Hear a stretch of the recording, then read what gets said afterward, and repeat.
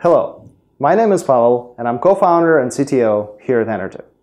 And today I would like to cover what you need to know about metering technology.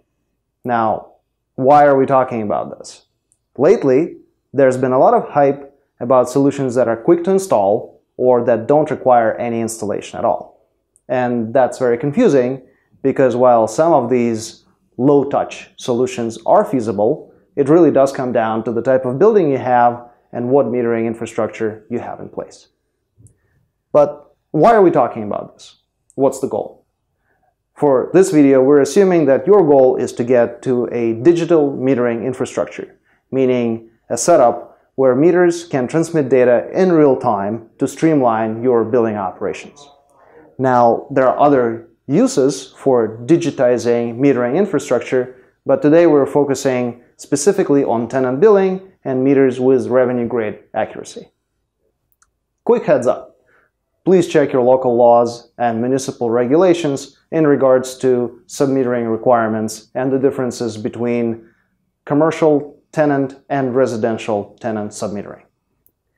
So let's talk about the how. The first step is to figure out what you currently have in place. I've made a quick flowchart to help you understand the best path to that digital metering infrastructure.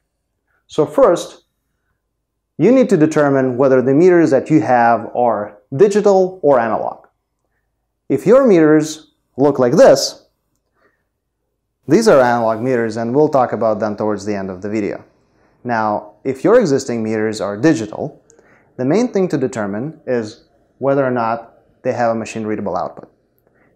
If they do, it could be sending data over an open protocol, uh, such as Modbus, BACnet, or even a simple thing like a pulse output.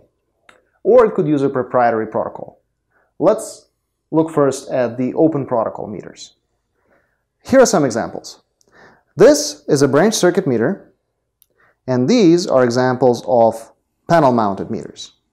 Regardless of the particular model, the main thing to look for are ports that look like this or like this.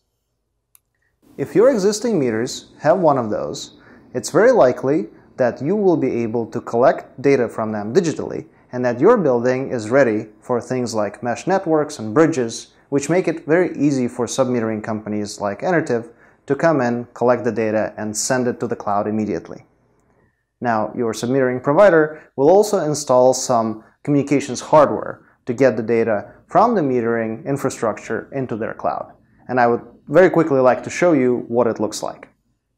Now, depending on your building layout, uh, the most cost-effective setup could either be wired with gateways that collect data that look like this, or wireless, using bridges and hubs, which are commonly available from many manufacturers and look like this or this. And then, of course, in the best case scenario, if your meters have a built-in servers that can send data directly to the cloud, you can use commonly available cellular gateways that look like this. Now let's talk about the proprietary protocol meters. Uh, here are some examples. Your submetering provider would need to have an established contract with the meter manufacturer that lets them access this data. That is why we recommend open protocol meters for new infrastructure when we're consulted on new construction. For more on that, please check out our blog post, How to Avoid the Tenant Submetering Death Trap.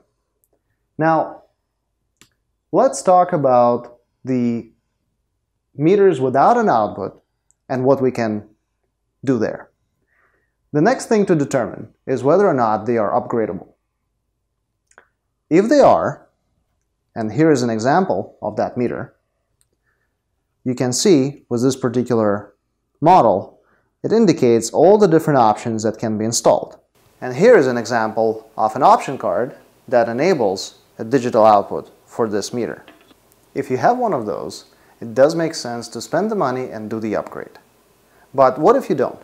What if you have a digital meter that does not have an output and is not upgradable? Here is an example. These are commonly found in residential environments. In this case, similar to the analog meter infrastructure, or in some cases of the proprietary um, protocol metering infrastructure, we do recommend replacements. There are options to streamline manual readings using software to help you with the process of collecting this data, and we will address that in another video. Clearly, there are lots of options to get to that digital metering infrastructure. Let us do the hard work for you. Call and we will be happy to help. Thank you, and I hope you have a good day.